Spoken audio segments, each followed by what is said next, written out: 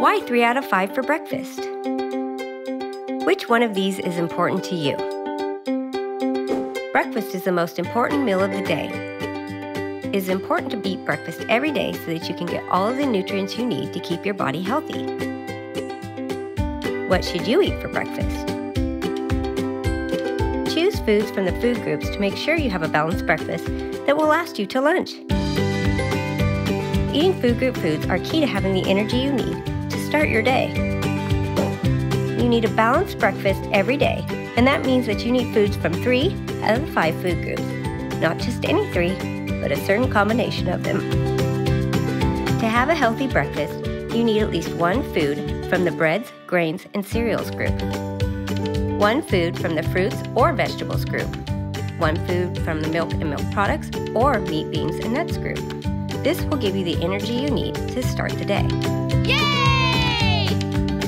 There are many ways to make a 3 out of 5 breakfast. You can make a smoothie with strawberries, yogurt and milk, and a piece of toast.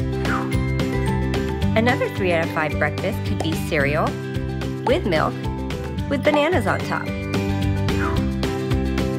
Another option would be a bagel with peanut butter, a glass of milk, and carrot sticks.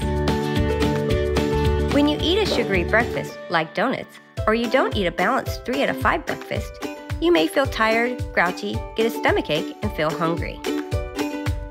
But if you eat a healthy breakfast, for example a 3 out of 5 breakfast, you will have the energy you need to last you until lunch.